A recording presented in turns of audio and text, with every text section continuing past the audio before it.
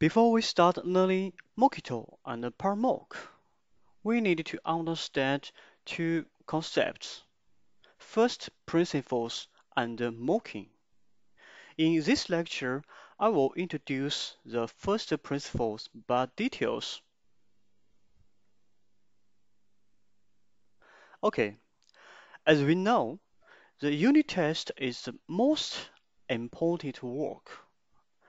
Every develop engineer should write unit test code to verify the source code correctness before push the source code change to or control system like GitHub.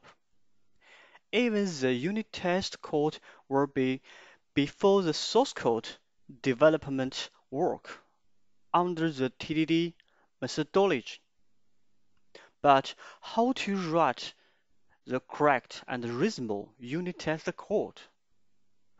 Actually, as a software developer, we have several principles can reference.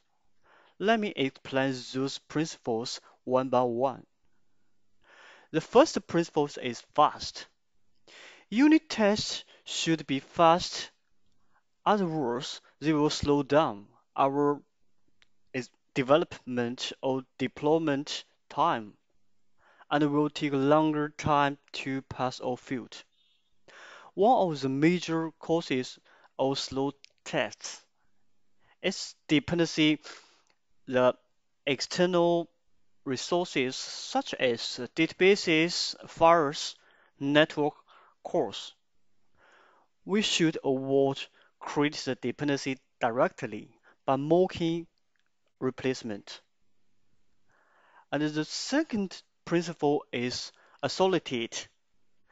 The isolated is that we should never ever write tests with which depend on other test cases.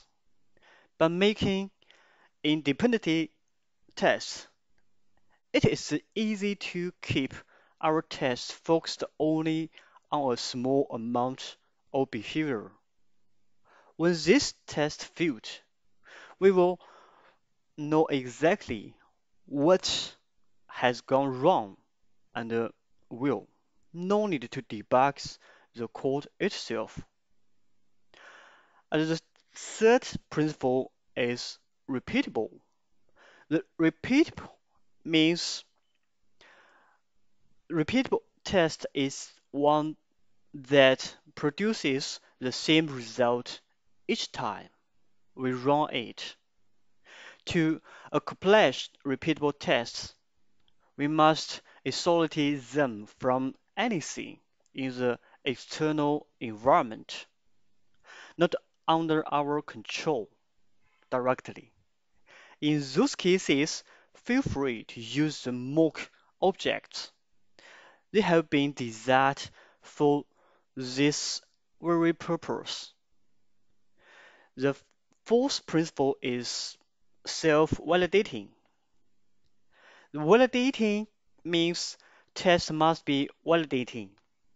Each test must be able to determine that the output is expected or not.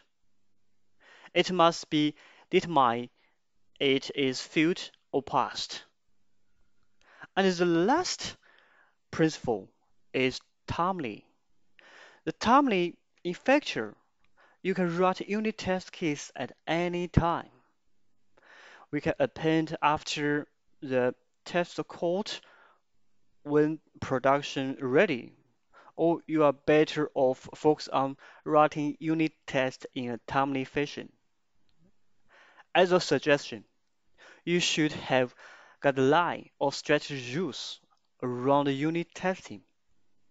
You can use the review processes or even automatic tools to re reject code without sufficient tests. All of those principle is named first principle. Okay, in next lecture, I will introduce what is mocking. Okay, see you next lecture.